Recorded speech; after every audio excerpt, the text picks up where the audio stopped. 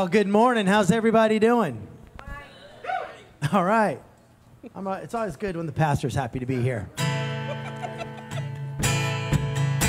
Would you guys stand with us this morning? Maybe we didn't fix that. We're going to sing a new song this morning. I would just encourage you, whatever you walked in here with that might be bringing you down, just leave it outside. Oh, I praise in the valley, I praise on the mountain. Oh, I praise when I'm sure, I praise when I'm doubting. I'll praise when I'm outnumbered, praise when I'm surrounded. Come on, church. Oh, I'll praise in the water. Hey, you got two hands. Let's clap My it. Enemies this Oh, as long as I'm breathing, I've got a reason to praise the Lord. Oh, my soul. Praise the Lord. Oh, my soul. Oh, I praise when I feel it. I praise when I don't. Oh, I praise cause I know you're still in control. Cause my praise is a weapon, it's more than a sound, and it's more than a shout. There's Jericho now. Oh, as long as I'm breathing, I've got a reason to praise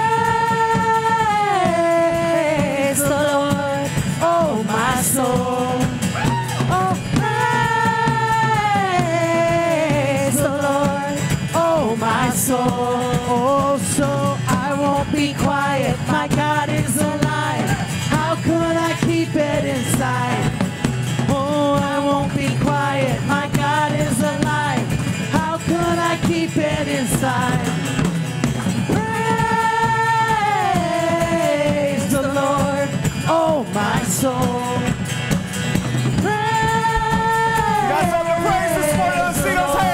oh oh oh, because you're sovereign. Praise cause you reign. Praise cause you rose and defeated the grave. Praise cause you're faithful. Praise because you're true. Praise because there's nobody Oh, praise because you're sovereign. Praise because you reign. Praise because you rose and defeated the grave. Praise because you're rose. Praise because you're true. Praise because there's nobody greater than you. Praise the Lord, oh my soul.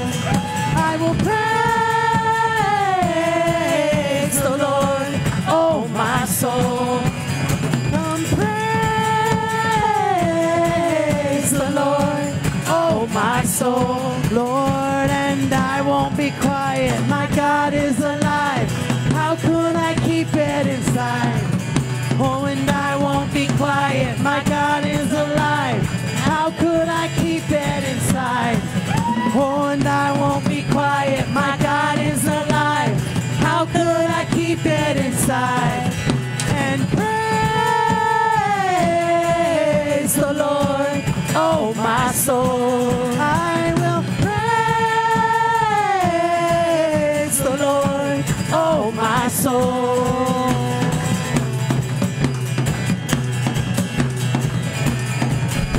Come on, church. Come on, church. Come on, church. Praise, praise, praise, praise, praise, praise, praise, praise, praise, praise, praise, Oh, and I won't be quiet. My God is alive. How could I keep it inside? My God is alive. How could I keep it inside? Oh, and I won't be quiet.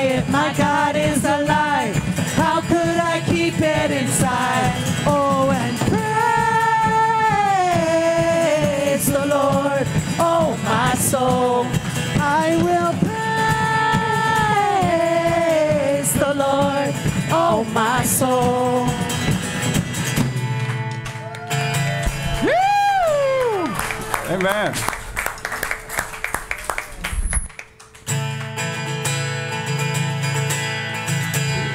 Amen. Father, we just give you the glory this morning.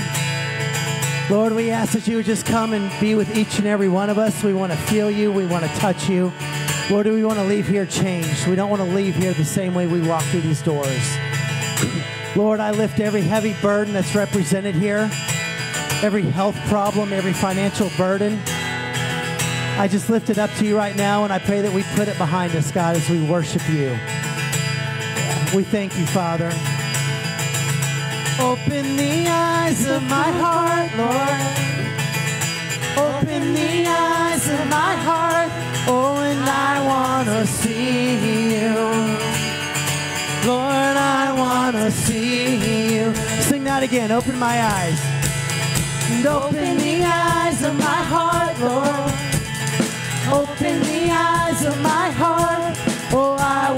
see you.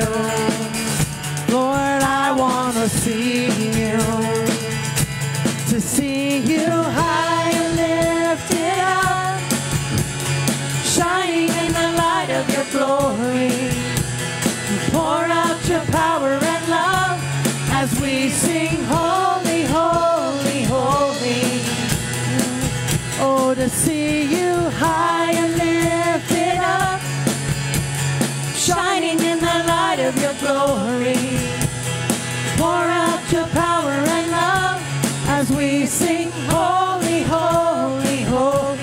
Come and open the eyes of our heart.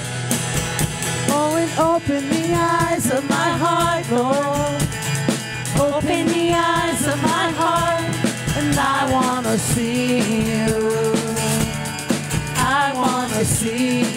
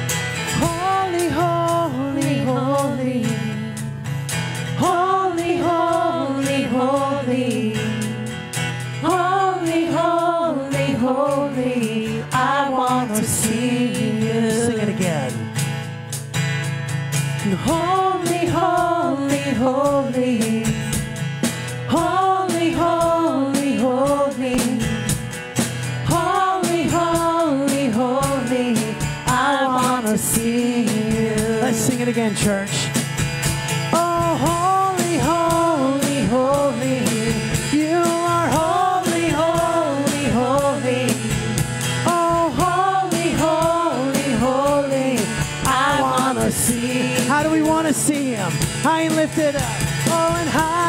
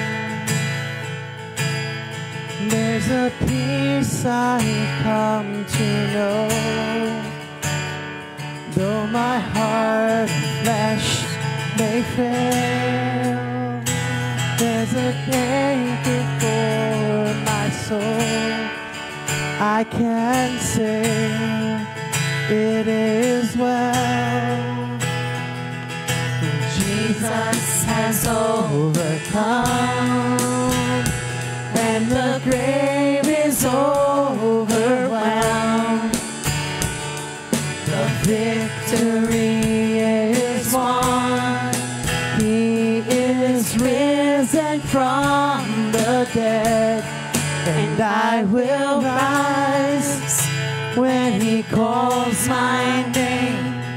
No more sorrow, no more pain. I will rise on eagle's wings before my God.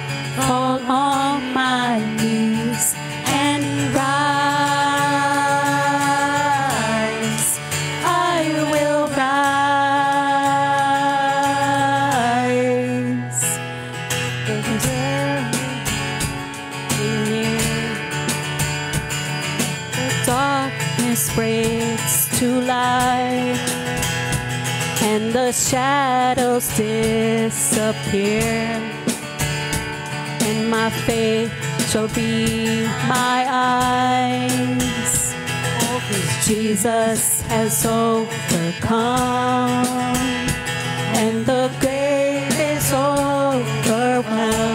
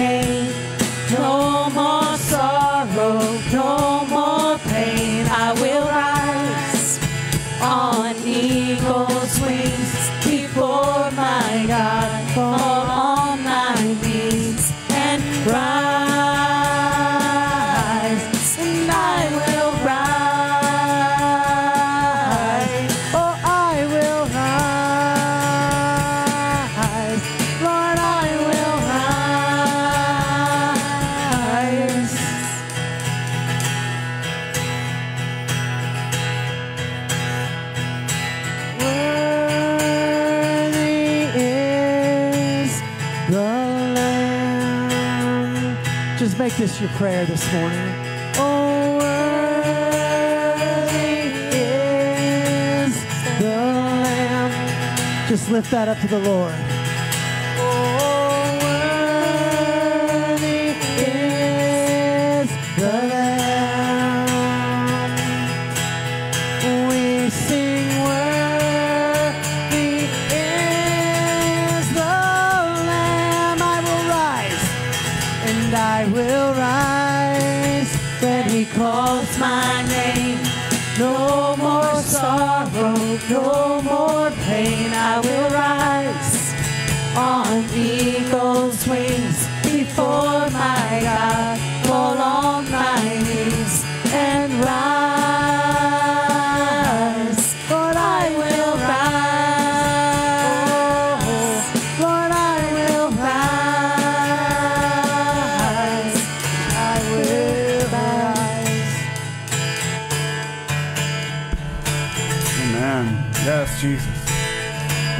Thank you, God, that you raise us up from the lowest place, from the muck and mire. You reached out a hand, God, and we grabbed it. And you lift us out of that evil, out of that depression, out of that addiction, out of that brokenness, God, and you called us yours. You are worthy of all praise, Lamb of God. You are worthy of it all, Jesus. We thank you, God. Let's give a round of applause for Jesus this morning. Amen. Amen. Amen. All right, welcome to New Life Church. You guys may be seated. Welcome to New Life Church. All those viewing us online, hey, how you doing?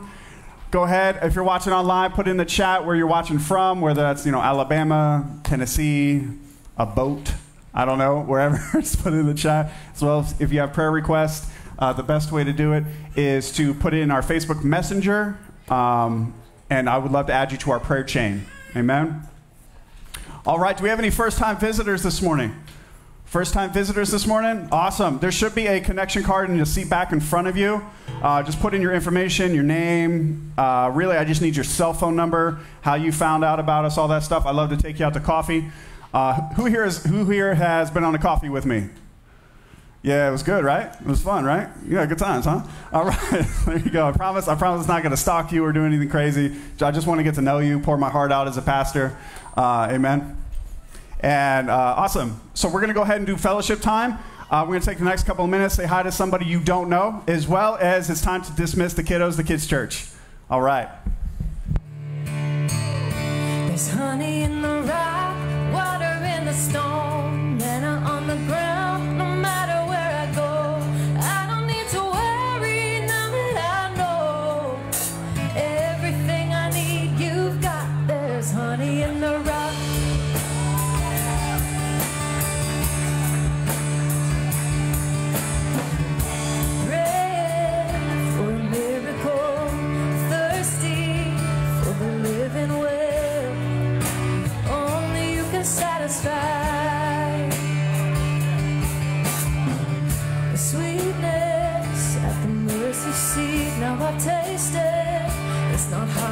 see. Only you can satisfy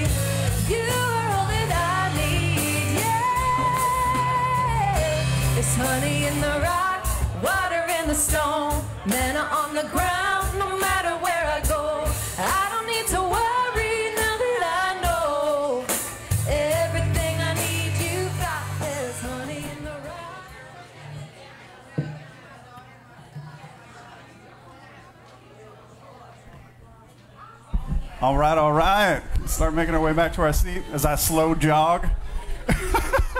That's as fast as I get, Chad, right there. You saw it. Land speed record, you guys. Who wants to foot race me? Anybody?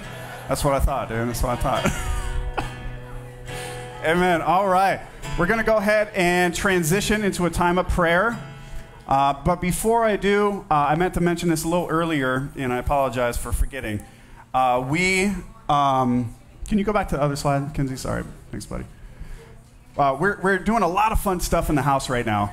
So we're actually uh, setting up with uh, digital bulletins so we can save ink and paper. I can't tell you how much ink costs. Like, oh my God, I feel so played and hustled every time I buy ink. Does anybody struggle with this? Oh my gosh, it's hard to be a Christian when you have to spend as much as they're asking for ink. it's almost like traffic, right? Ink prices and traffic. That's those, those are the two things for me. But uh, so we're switching over to digital bulletins.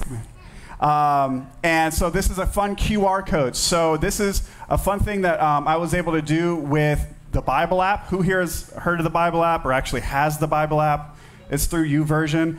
It's incredible. It's free. It's my favorite Bible app, hands down, hands down.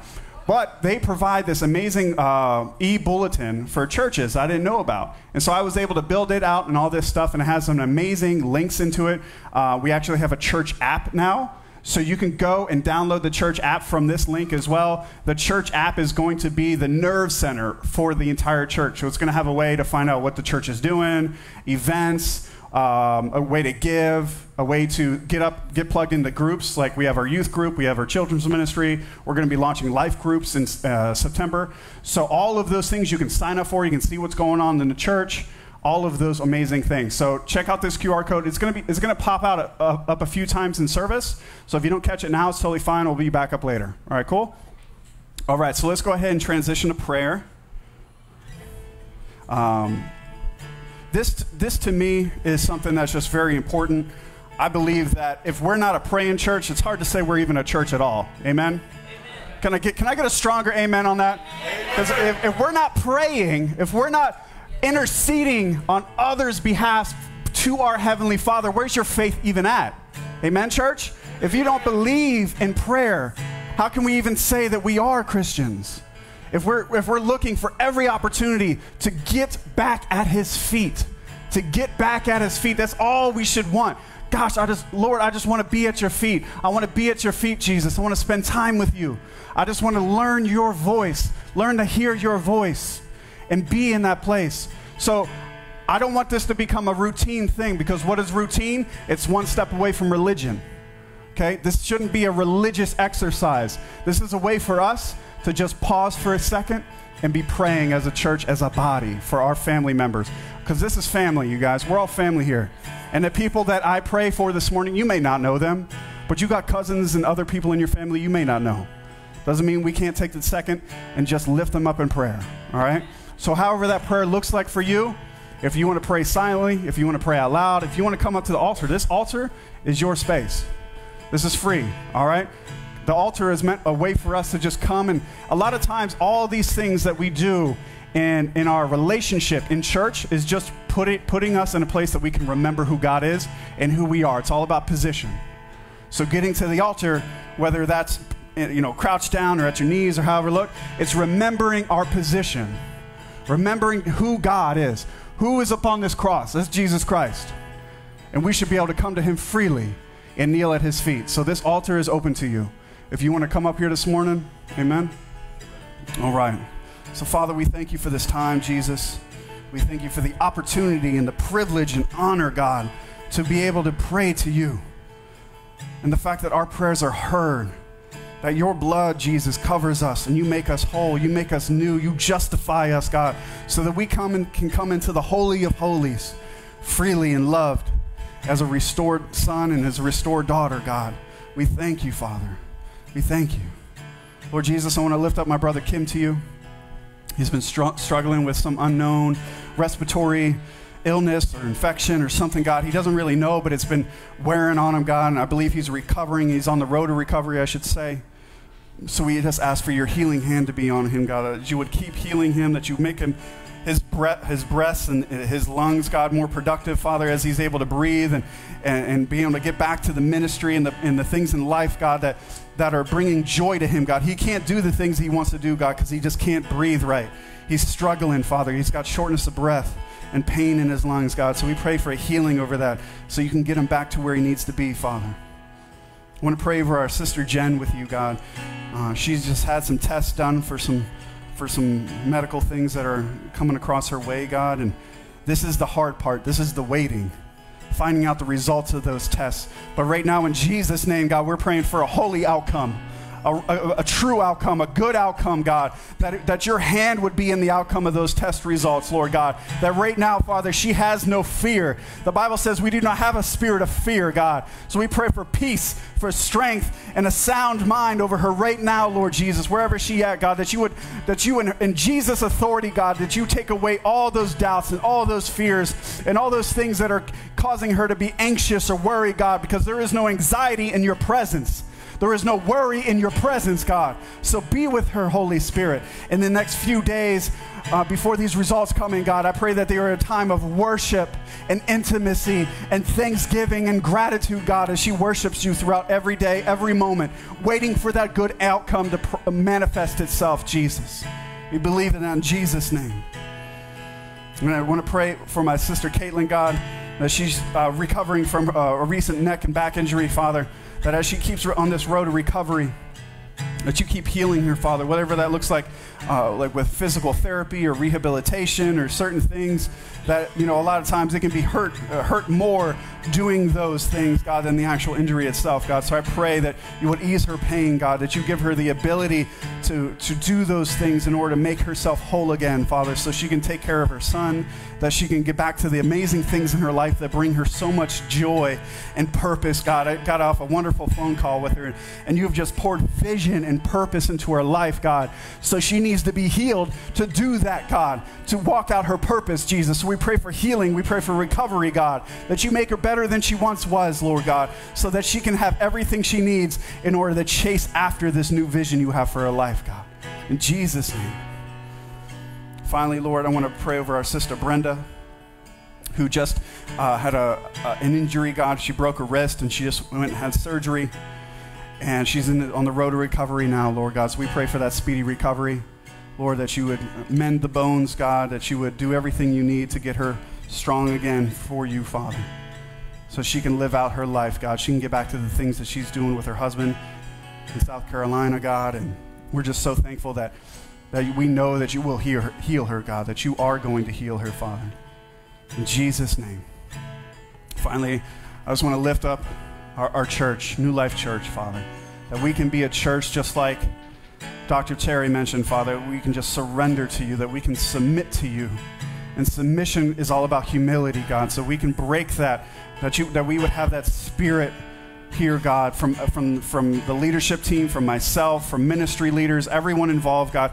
We, we need to remember and be reminded, God, that we are submitting this to you, that this is your church, this is your city, God. These are your people. Father, you've just given us opportunities to steward the call, to seek the lost, to seek the broken, to seek the hurting, Jesus. So let us remember, God, that these are your children you're running after through us, and that this church is blessed only because of your hand. So, God, we plead that, Father, that you remind us. Also, God, I want to lift up joy in the rock, Father, to you, that as, as things are coming closer and closer, that we believe in the outcome, God. The resources are going to come, the people are going to come, the plan is going to get solidified. All that so that we can blow the roof off this city, worshiping unashamedly your name, Jesus Christ in this city, God, that we can lift our heads up literally to heaven and praise you, Jesus, in our city. That we can say, You are the source. You are the joy. You are the peace. Because there's people here that need you, God. There's families here that need you. So we pray that we can keep it free, that we can keep it inclusive, Lord God, for everyone that would come and taste and see just how wonderful you are, Jesus. So we believe in that. We pray this in Jesus' name. And everybody said, Amen. Excellent. All right, we're going to get ready to do our tithes and offerings. Ushers, if you guys want to come forward. As well as if you want to give online, you can zap this QR code and there'll be a link on there to give online. Uh, if you download the app, it's also through the app as well.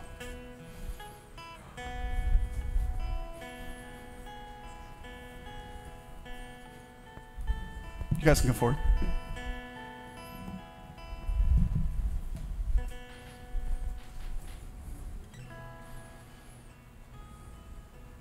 Thank you, Ms. Linda. Thank you thank you, Lord, that, uh, that we are able to gather here and freely worship you. We come here with needs, and I pray that um, you would meet every need today and open our hearts so that we can let down our guard and, and freely worship you. Cry, cry out, you know, whatever we need to do to feel a touch from you. And Lord, we, we bring our tithes because we want to be obedient and we trust and we give in faith that our tithes are going to be used for your glory and your glory only. Thank you, Lord. Thank you for this church and our pastor. Grow us, grow us in Jesus' name. Amen.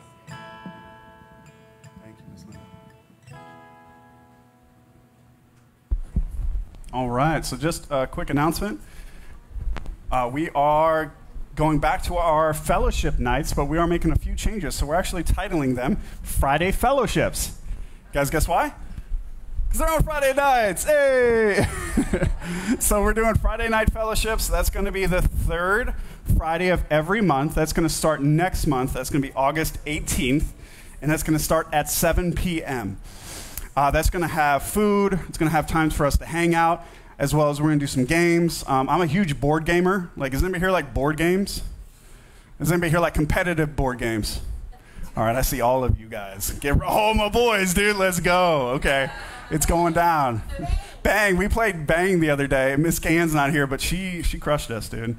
It's this fun little game where it's like a like a, a dice game like Yahtzee, and you you like shoot people, you're cowboys and outlaws and all this stuff, and you have to like say bang every time you shoot somebody.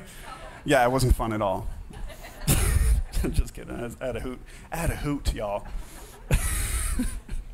Uh, but yeah, so we're starting that back up. That's like I said, that's going to be August 18th, Friday fellowships, third Friday, 7 p.m. until we're done. Um, I'm hoping we can have some childcare there as well, so I'm going to work that out for all the all of you families that have littles. I know it can be really hard to try to figure out a babysitter and doing all that, so we're going to do our best to get that worked out. Amen. All right. So I believe we're, we're ready. Yeah, let's let's play the vid.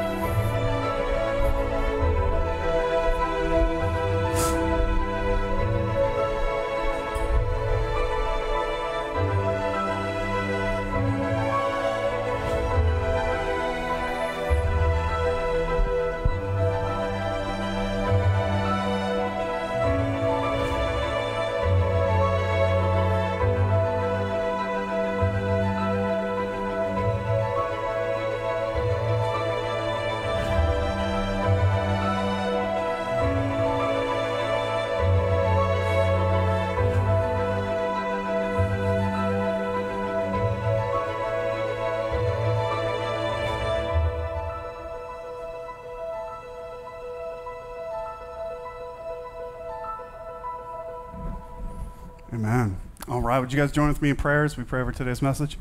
Father God, we thank you for this time, Lord, to get into your word. There's always a blessing when your word is read, but even bigger blessing, God, when we submit ourselves to your Holy Spirit, to that reading, God, that you speak to us, that you plant that word in our hearts, and we take action, to God, to see it be fruitful and multiply. So we pray for that for this service, God, as, as we finish out this word study in Romans. God, that all the things that we've touched on and, and things that you've made alive in your scripture in Romans these last five weeks, God, that it wouldn't be just nice words, Father, but it'd be life changing words that you've put into our hearts, that have motivated us, that have convicted us through your Holy Spirit, that you have drawn out something deep, God, as we, as we call out from deep to deep, from our heart to yours, Lord Jesus. And pray for that for today, Lord, that I submit today's message to you. Lord, Holy Spirit, I pray you come come on this house, come over this room, come over all, the, all those viewing us on, online, Lord God. For me, we, we submit ourselves to your Holy Spirit. We, we want nothing but that relationship. All the things be, be burnt away, everything else, all other distractions, all other things, Lord God, that are not of you. We honor you. We love you, Father. And pray this in Jesus' name. Amen. All right, you guys. Week five. Can you believe it?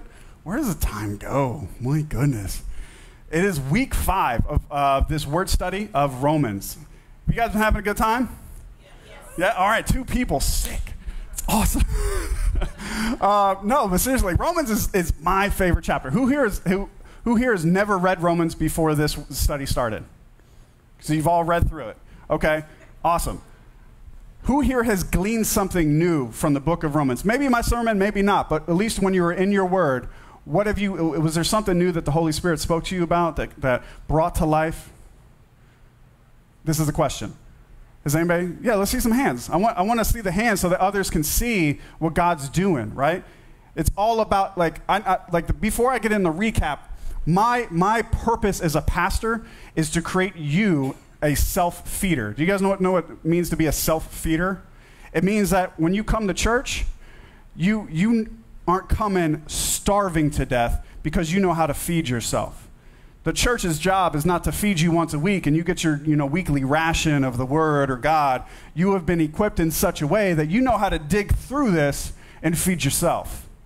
All right? Because let me be real, I'm, I'm, I'm a daddy, but I'm not your daddy. Okay? Let me say that again. I'm a daddy, but I'm not your daddy. All right? It's not my job to feed you and do your laundry and make sure baby's doing okay. All right? I love you, church, but that's not my job. My job is to make men and women of God. You hear me? Okay. So that's what it, to be a self feeder means that you understand your job and duty and role and position as an adult and maturing believer because there's never a place where you fully arrive. Amen. We should always be hungry and maturing in Christ. But that's the whole idea of Romans. Romans is meat and potatoes. All right, this ain't no milk. This ain't no formula. And so I really hope that the Holy Spirit has been convicting you and drawing out that need, that hunger for something deeper with God. Not just that surface level Christianity, but like, yeah, I go to church and, you know, I say Jesus when, I'm, when, when I get upset. You know, I'm just kidding. That's a profanity. I'm just kidding. Okay? like, where is your walk with Christ? And where do you want it to be? That's what the book of Romans is always all about. Where are you and where, are you, where do you want to be? Because as we started this study, the number one thing is the problem of sin. It is a real problem. And the Bible does not measure sin like we measure sin. We're saying, like, yeah, I just do a little lies here and there. I white lie this or I white lie that, or on my taxes or my diet or different things. Uh, it's not like I'm out here killing people, right? It's not like I'm out here cheating on my wife. When, the, when God says that and this are exactly the same.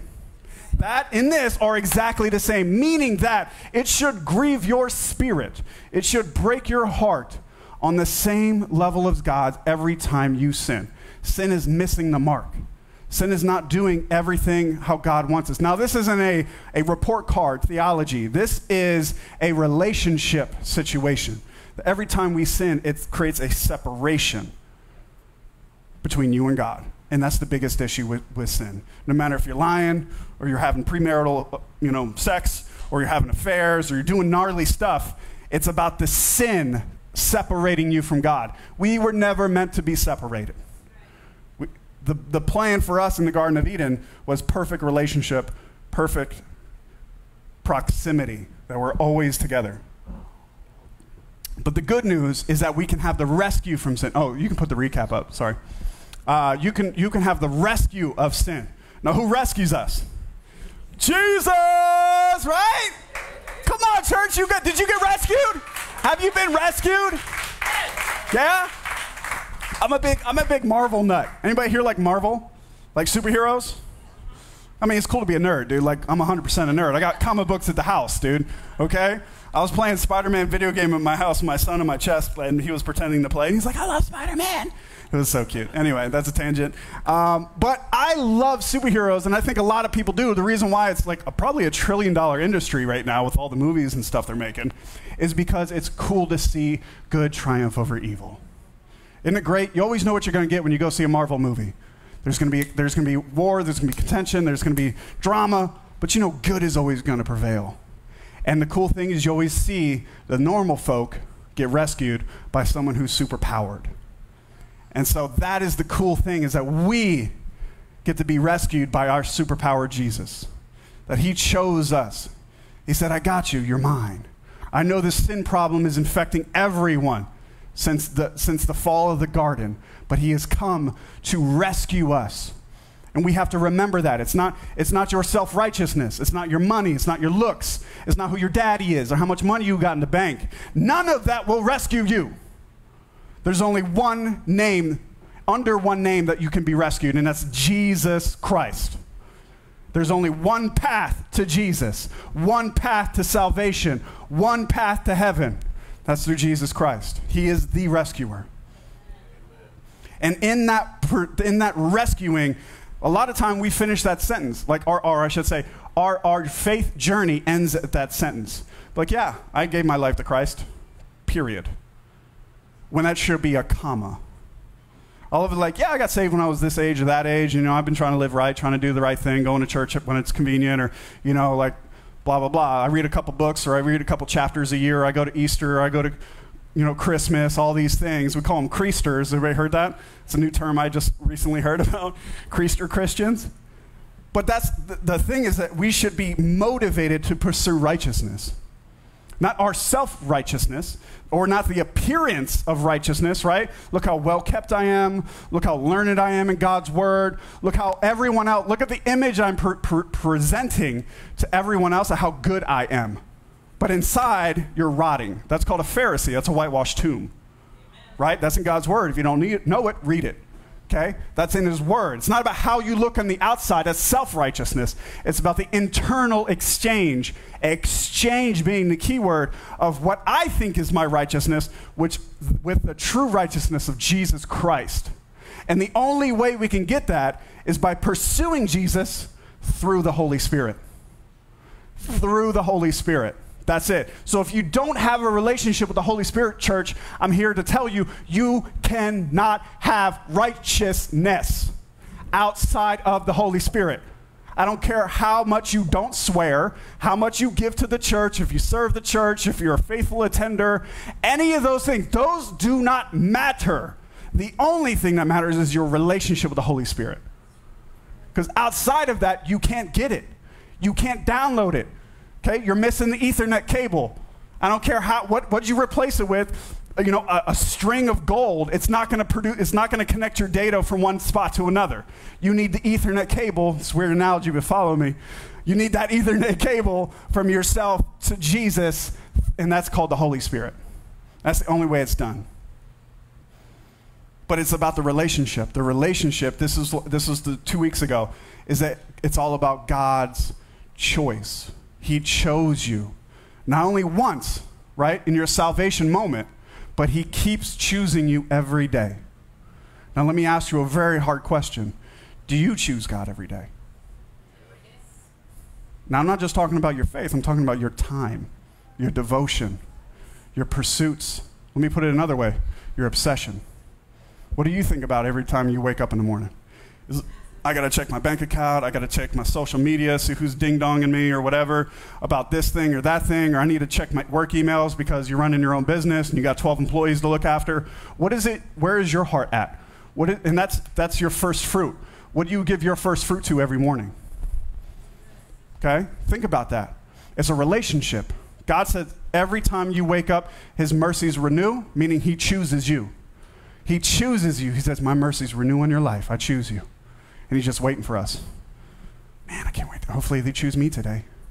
I'm here. I'm waiting. I got a fresh word for you. I got love for you. I got my presence for you. Choose. Oh, today went by. Well, I'm still loving them. My mercies renew tomorrow. I'm waiting for them. Let's remind ourselves of that, that God chooses us every day. And this, this, this closing is all about why, is the synopsis of, of this entire week, is what does it look like to be a Christian? How do we really do this? What's the in, how do we walk in step with Christ? So if you turn your to your word to me to uh, Romans chapter 12, verses 1 through 3. Romans 12, verses 1 through 3. It says, I appeal to you, therefore, uh, I appeal to you, therefore, brothers, by mercies of God, to present your bodies as a living sacrifice, holy and acceptable to God, which is your spiritual worship. Now, check this next verse out. Do not be conformed to this world, but be transformed by the renewal of your mind, that by testing you may discern what is the will of God, what is good and acceptable and perfect. For by grace given to me, I say to everyone among you, not to think of yourself more highly than you ought, but to think with sober judgment, each according to the measure of faith that God has assigned. There's a very specific piece in here that uh, uh, I want to make sure that we don't miss on. The last verse of three is that we have all been given a, a measure of faith to get through exactly what you're going through. Okay? Faith is, is a spiritual gift, meaning I can't earn my faith. I can't study faith and become more, more expanding of my faith. It is a gift from God. Okay? And He gives me exactly the measure of faith that He needs, that He has assigned me to get through what I need to get through in order for me to be able to do all these things that were just said. In order for me to not, in this me speaking me personally, but also you, in order for you to not be conformed by this world, to be transformed by the renewal, to seek out after His Holy Spirit, to have your situation and your character changed to reflect more of Christ. All of that comes from the specific measure of faith God has assigned you. So when you pray for faith, pray for God, I need, I need I know that you have already given me enough. Help me believe that it's enough. Help me believe that I'm enough. Help me believe that where I'm at right now is testing and, and putting me through trials in order for me to learn something. Because you've already given me everything I need. I just need to be aware of it. Amen? So let's dig into this. The first part it talks about in verse 1 is that we are to present our bodies as living sacrifices. Now, if you've read any of the Old Testament, you'll see that there's always this, this mention of a sacrifice representing a cleansing. You know, there's a burnt offering. You have to make a sacrifice. A life has to die. Now, Jesus was the end all, final sacrifice. All right? He gave his life so that we could live in salvation and through redemption. Yes. But we, it doesn't, it doesn't uh, permit us to not offer ourselves as a living sacrifice. Now, it's not about doing works so that you can be saved. That's not what I'm saying, and that's not what Paul is saying here.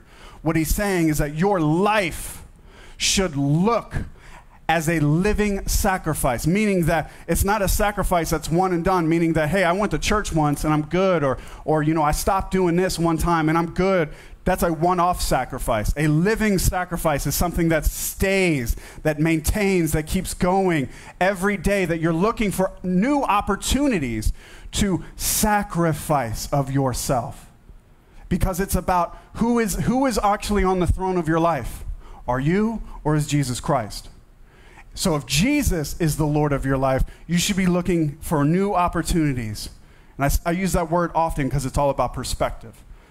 There are opportunities in your life, we're just calling them problems. Okay? Let's be real. Okay? Problems are just opportunities that you haven't seen what God's trying to do in them yet.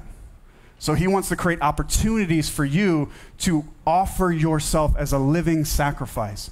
It's all about position. I mentioned this earlier about prayer. Like, what is the altar? The altar is a position that we can look up to the cross, right? Imagination. Jesus is hanging at the cross. I'm like, you know, I'm not even worthy of to be at the same level. I need to be down here, God. I need to be down here at this altar on my knees because that's who you are. You're worthy, God, for this position. This is where I need to be. Otherwise, pride steps in. Okay, what did it say in there? That we should not think of ourselves more highly than we ought. He's the only one deserving to be up here, meaning He is my Lord, He is my God. I need to offer myself to Him. When you wake up in the morning, think about that as your new prayer. God, what would you have me do with this day? How can I, how can I use this day in the best fashion to bring you the most honor and glory? Whether that's your ability, your, your talents, your money, your resources, your time. I don't care what you do for money. All things can be used to bring him glory because the Bible says that it's not, you're not working for your boss, you're working for God. That's your ultimate boss. Is that I don't care if you're scrubbing scrubbing the bottoms of boats, you know, or you run a, a- a Fortune 500 company. Everything you do is unto God for His glory. That's position. Remembering that He's in that position so that we can offer ourselves to Him because your gifts, your talents, your looks, your, your, your pedigree, meaning who your parents were, who, you know, whether that's a good thing or a bad thing, you know, whatever that situation looks like, we're all from God anyway. And so he's given us all that so we can say, God, what can I do more with this day? I want to offer myself to you. I want to offer my mouth to you, my ears to you, my money, my time, my, my, you know, I have a really difficult boss, or maybe I'm the really difficult boss, and I need to learn to offer more of myself to you. Somebody nodded over here. I'm not pointing any fingers. But, uh, no, but like, what, do we, what are the opportunities to look forward more of an offering? It's all about perspective. Luke 9:23 says, and he said to all, If anyone would come after me, let him deny himself and take up his cross daily and follow me. I said that really fast. So, this is a perfect prerequisite. So he's like, Yeah, I want to follow Jesus. Because why? Because I want Lord to bless me. And I want to know that if I give $100, I'll get $1,000 back. Or, you know, this prosperity gospel that's infecting our, our country. That's broken and it's wrong message. Okay? God's, God's no Amex credit card. If you treat him as one, you're going to be in a really hurt, a big, a big situation for hurt. Okay? I mean, come on, let's be real. What this is saying is that if you want to be a Christian, it's not going to be all roses and flowers and puppies and you know blessings. Uh, the American version of blessings or the American understanding, because I've talked to people in our country, in other countries, is that blessing usually has to do with money in America, whereas other countries it has to do with generational blessings. Check that mindset out, right? Is that in America we're like, yes, I want the Lord to bless me. I want to have money. I want to be famous. I want to be successful. Lord, bless me.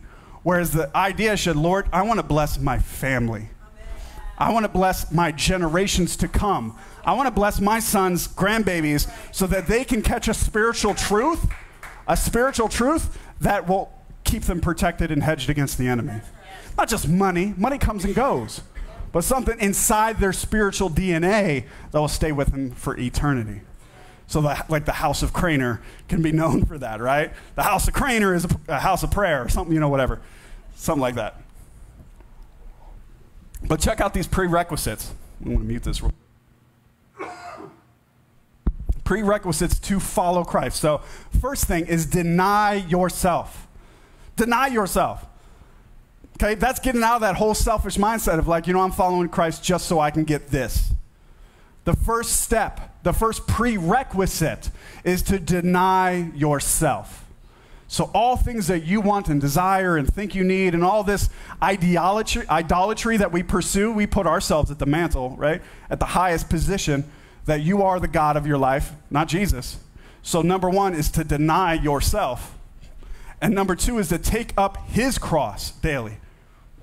I got to see a, a replica of an actual cross, nine feet tall, six plus feet wide, like I don't what's the measurement, a foot? I don't know, like four by four. I don't know what, like a foot by foot, I guess. Is that contractor Chad? I don't know. It was a foot this way and a foot this way. Foot, cube, a cubic. Thank you. I knew there was some lumberjack language in there somewhere. Uh, but anyway, that's a lot of wood. That's heavy. You know, there was a guy in Colorado. His name was Arthur Blessitt. If no one's ever like looked up this dude, incredible man of God. He takes and he walks the cross all over the country and the world. And he lives in Colorado. And I've met him and shared many conversations with the man. Walked his cross with him throughout Denver, Colorado. Um, but I mean, he's an older dude. He's probably like 70 plus now, maybe even 80. His his cross is like this big.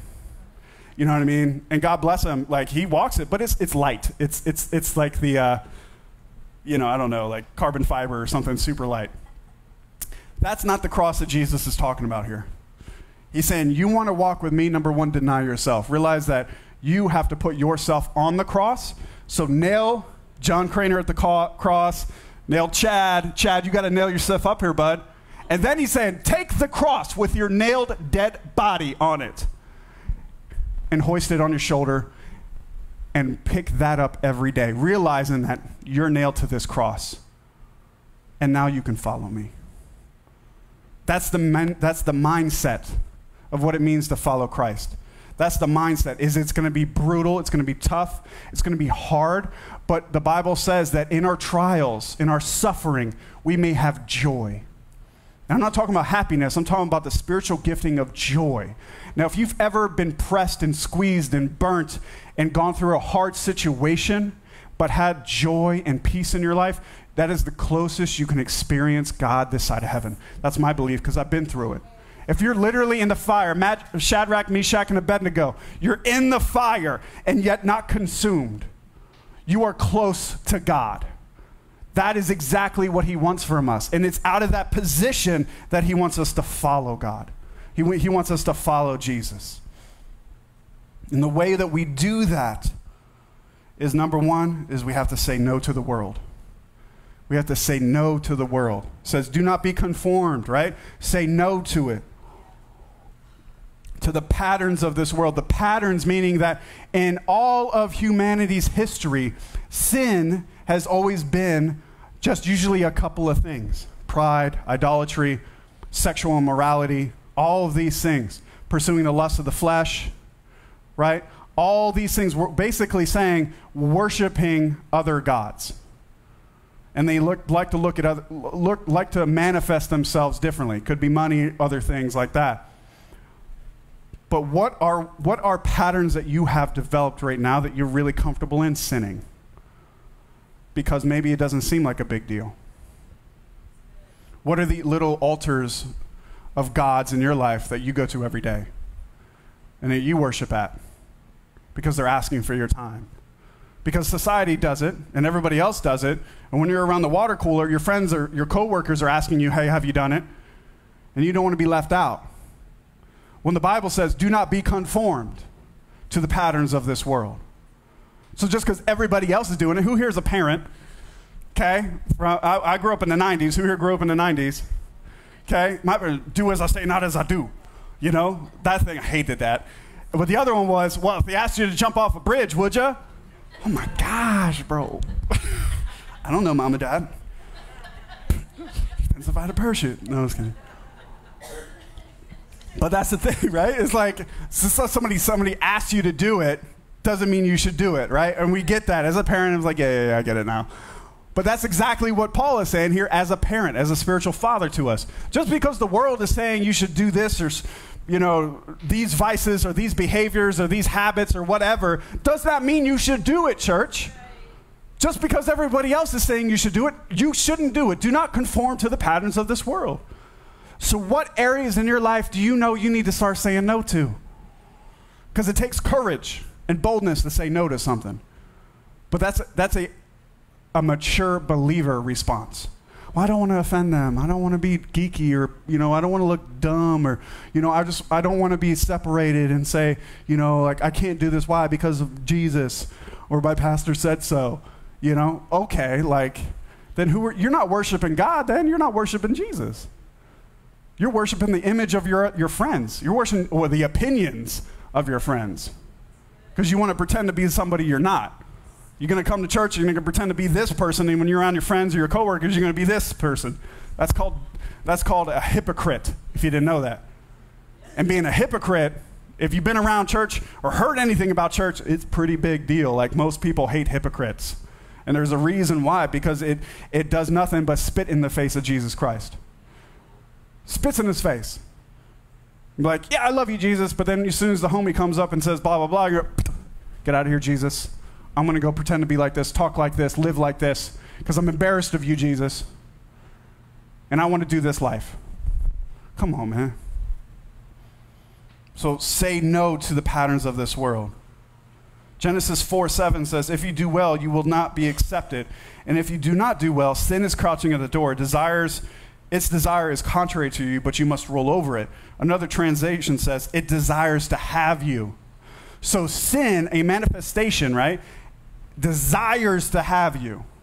At every moment, it crouches and creeps at your door, waiting for you to step out into the world. It's ready to trip you up. It's ready to tempt you. It's ready to do all these things. You have to be ready to say no. You have to be used to saying no. You have to be uh, you have to understand you have the authority to say no in Jesus name. Because all it wants to do is steal, kill and destroy. All the things you are walking out of your home, before you walk out of your home, turn around and look at it. Look at your wife, look at your husband, look at your kids, look at your dog, your lizard, your bird, whatever. Those are lives that are dependent on your nose. That they need your nose. Because otherwise, someone's going to come in and try to steal, kill, and destroy them. It's your job, especially men. Men, you need to hear me. It's your job to say no. Your job to say no, to protect your family, protect your wife, protect your kids. Your job. You need to hear that today. Number two, say yes to the way. The way is a, a code for, for Christians. I'm stuck on this thing right now, man. I'm so stuck. Uh, but it, before Christians were called Christians, I'm say this every Sunday. They, they, they're, they're like, their secret speech for it was, hey, hey, man, you a follower of the way? Hey, bro. Hey, you follower of the way? Like, wait, you know, West Side? Just kidding. Sorry. no, you follow the way. Like, anyway, so that's before they, we, we had word, the word for Christian, right? But that's the cool idea is that that's the way. Jesus is the way, the truth. Say it again. That's right. Only through Jesus. He is the way. Only through Jesus, right? So we are are we either following his way or somebody else's? So think about that. You got to start saying yes to his way, his path, his direction, all of that, saying yes to that. Now, there may be things in your life right now that you have been saying yes to, and you're like, yo, Pastor, I get it. I, I want to do these things, but I'm too busy. I don't have time, man. Like, you know, I got to do this with work, or I got to do this with my working out, or uh, uh, I got kids and they want to do blah blah blah, and you know, I got to I got to watch at least 14 episodes of this show, and whatever, like all these things that have the time. I, where am I supposed to do this? So, in order for you to start saying yes, you got to do what first, right? Well, that's why the first thing was no. You got to say no to things, no to people, no to things that have already come into your life and try to tell you what to do with your time. So, you need to reevaluate your situation, evaluate your commitments, evaluate, let me put it another way, your devotion. Who are you devoting your time to and, and allow God to discern His will over it and say, gosh, I need to start saying no to this, this, and this. And now I got more time to say yes to God, to say yes to His way. Because you can't make time where there is none. And I'm not asking you to do that. What I'm asking you to do is be bold and brave and start saying no to somebody or some things and be empowered to that. You don't got to be rude, you don't got to be mean, you don't got to be self righteous. You can blame me if you want. But like Pastor said, I can't do it, man. I'm sorry. I'm a big boy. I can take it. All right, I'm going to get some hate mail now. Watch. hate email. Sorry. but no, start saying no to stuff so that you can start saying yes to Jesus. Okay? So that you can start having more of these opportunities because King David said in Psalms 1 2, but his delight is in the law of the Lord, and on his law he meditates day and night. So if you want to be somebody who has more time with God, you need to understand that comes from studying his word. Studying his word, not just reading his word. All right, there's a big difference. Maybe you got a verse of the day that pops up or whatever, and you're like, okay, tight. You know, I give God three seconds. No, no, no, no, no. What, what King David was saying here is King David not only read the word, he meditated on it day and night. Meditation comes through studying it.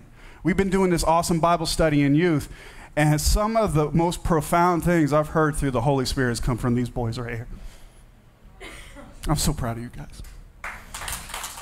It is studying His Word.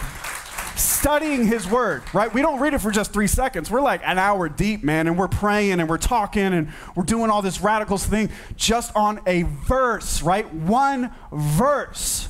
God downloads an amazing revelation into our lives. But you have to study it, you have to dig it, you have to seek Him. And you have to learn that it's your job, it's not my job. Okay? You got to dig in through that and say, how bad do you want it?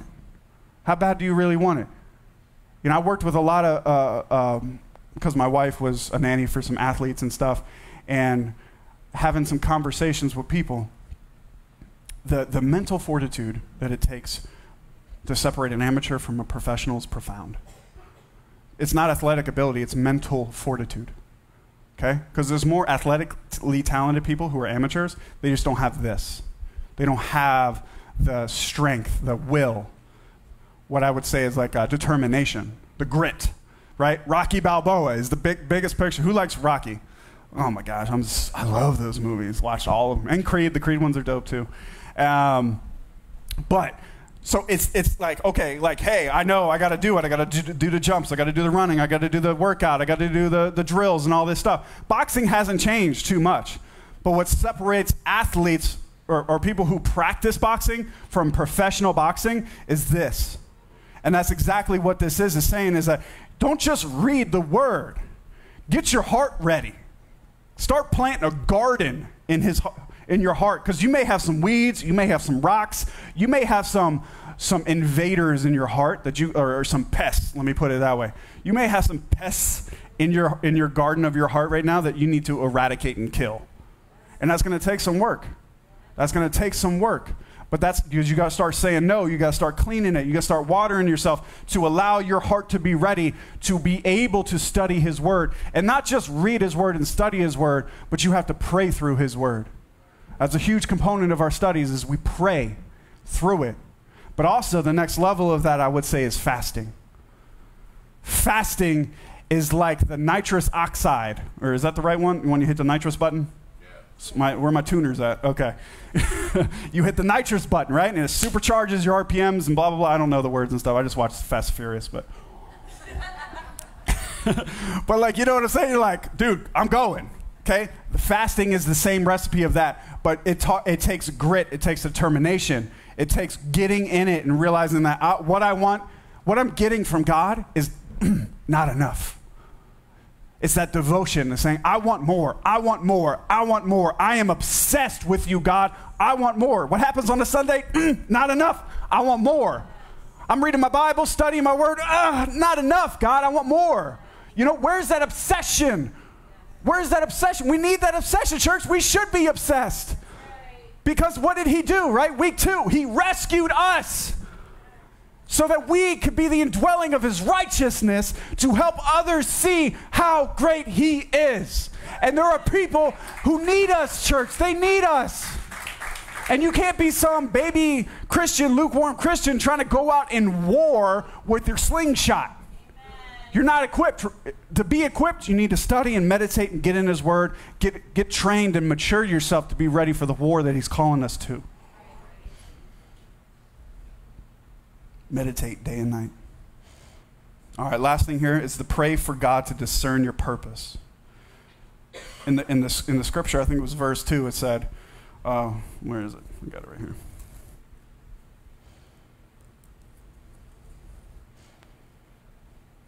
So that by testing you may discern what is the will of God, what is good and acceptable and perfect. By testing, right? By trials, by suffering. In order to develop patience, you have to have trials for God to produce his fruit in you so that you can become intimate with him.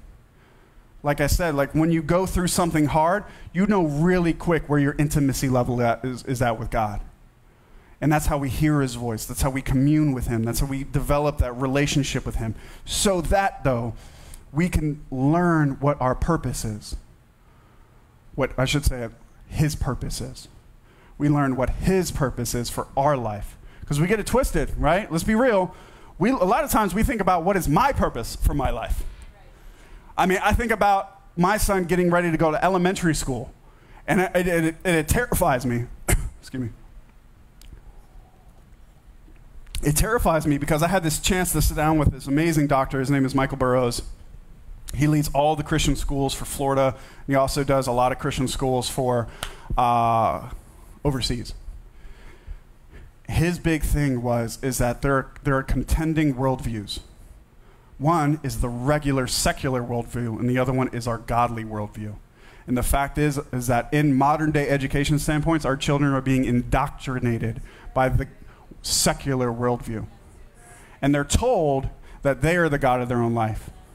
They're told that if they want to be happy and successful, they have to get the degree and go to the college and spend all this money and create the American dream and do all of these things. And that's what will give them what they want. And that terrifies me because that's not their purpose. What is your purpose? Why were you crafted fearfully and wonderfully in your mother's womb? And God poured his breath into you so that you could go to college. Now, I'm not down in college. I went. I get it. It's wonderful. But it was after I discovered my purpose that I went.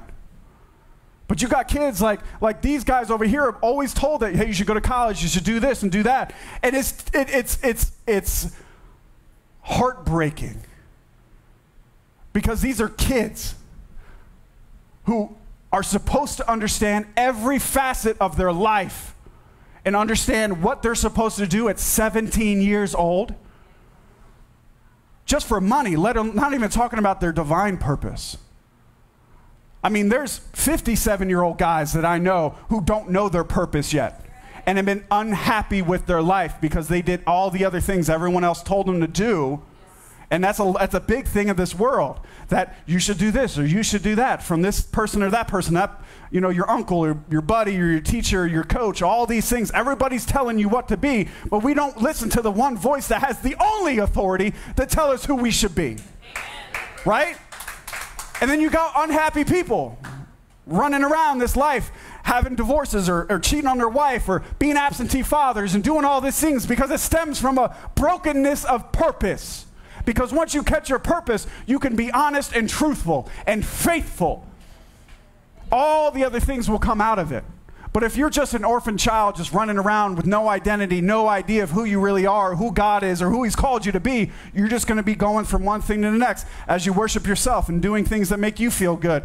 And yeah, this girl's pretty, so I'll marry her. But now she's not pretty, so I'm not going to marry her or not stay married to her because this other little young thing, pretty thing, is all up in my face. And cool, now I got all this money because I went to college and I can dote it on her and blah, blah, blah. Like, it's insane, dude. It's insane to me. It's insane to me. It's insane. The, the truth of it is, is it comes from God saying, This is who you are, my son, my daughter. And that's where everything else should pour out of. And the only way we know that is backing it up, right? Have you been saying yes to him? Back it up another level. Have you been saying no to the world? Because if you say yes to the world, you're saying no to him and you lose your purpose, and the enemy wins. Chad, are you going to come up? the good news, church, is that there is still time. I don't know where you're at today, if you have a relationship with Jesus or you don't, but there's always time. The thief on the cross was in his dying breath, and he proclaimed Jesus Lord.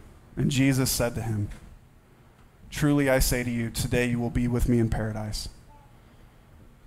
There's always time.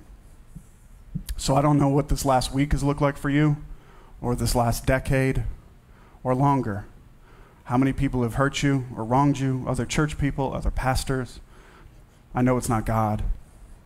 I know it's not Jesus. He wants you, He desires you. Say no to the world today and start saying yes to Him.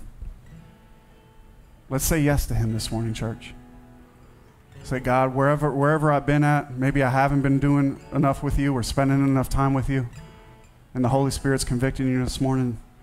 That's a beautiful feeling because it shows that you desire your Heavenly Father. Because He desires you. That's not up for question today, that's not up for debate.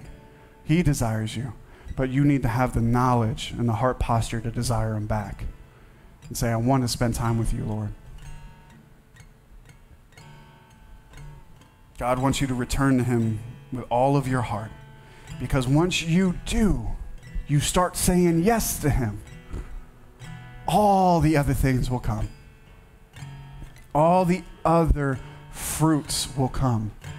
If you need something in your life today, I don't know what it is. Could be joy, peace. Maybe you're struggling with anxiety. Maybe you're stuck in an addiction. Maybe you're dealing with anger issues. Maybe you have a division between you and your spouse, or a division between you and somebody in your family, and you don't know how to break it off. Well, I can tell you that if you have a division with you and your father, that, that's not going to get restored. It has to start here with you and your heavenly father first.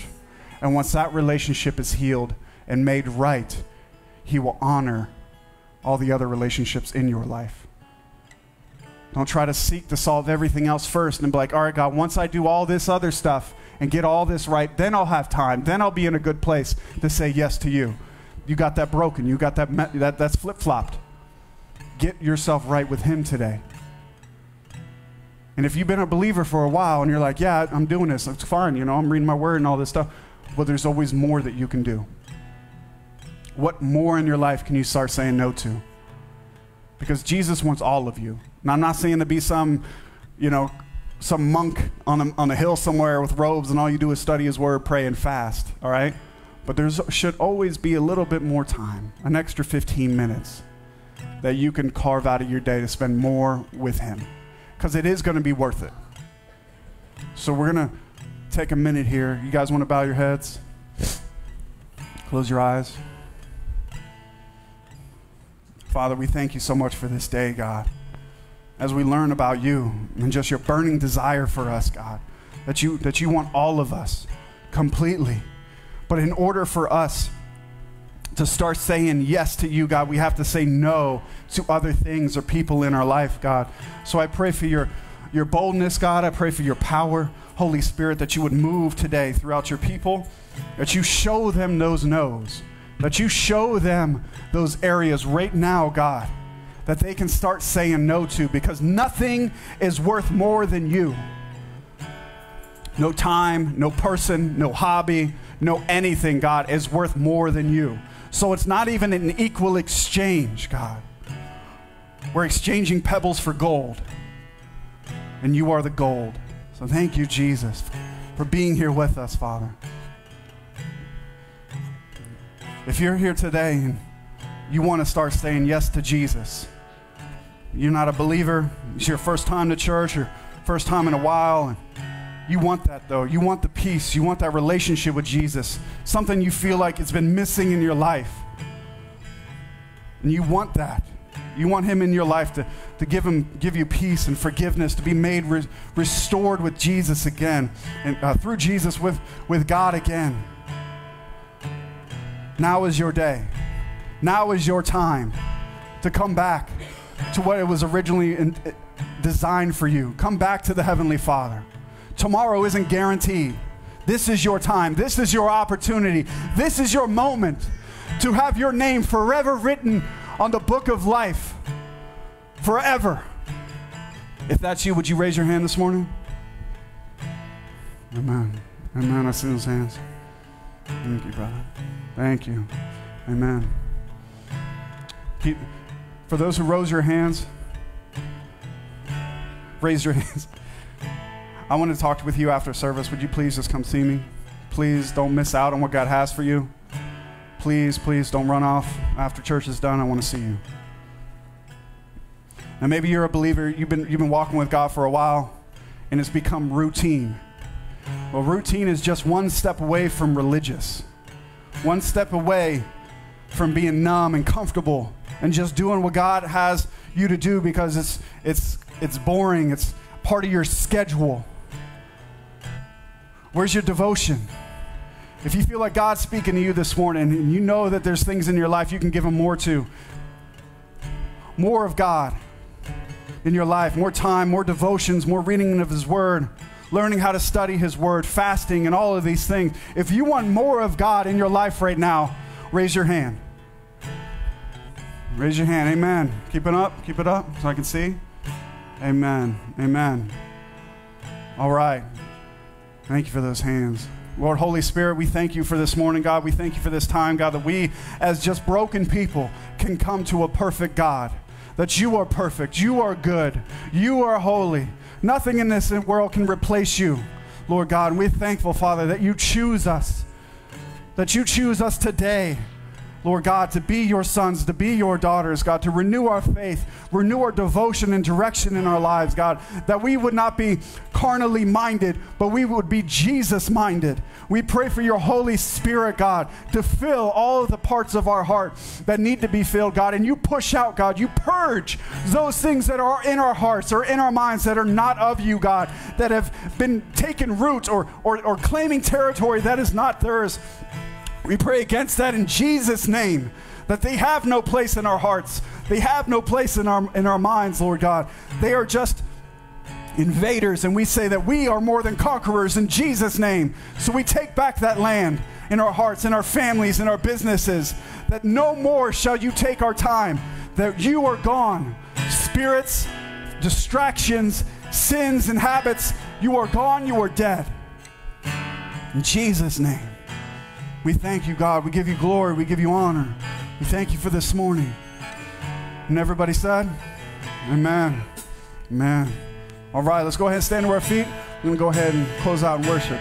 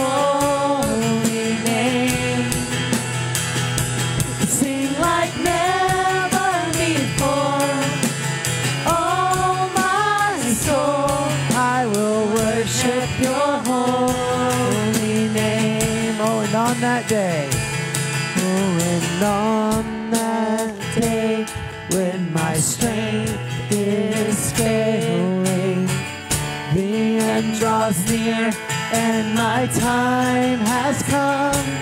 Still my soul will sing and your praise unending.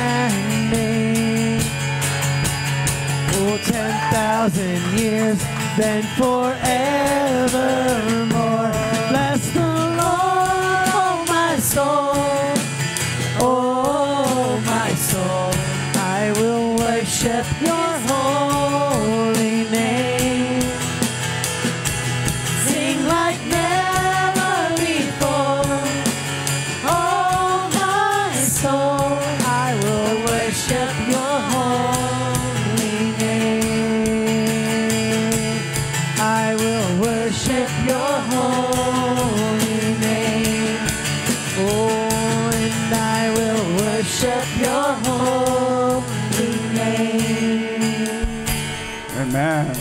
Father God, we thank you for this time, Lord, that we were able to gather and worship you this morning with service, and thank you for your word that you've encouraged us with.